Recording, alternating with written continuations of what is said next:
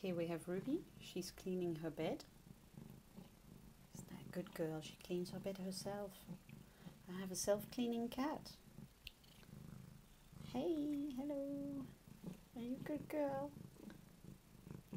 She's purring as well.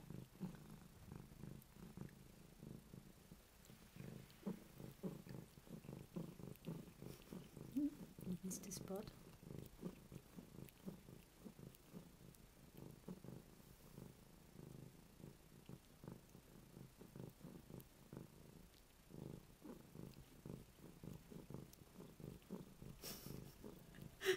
You crack me up, you.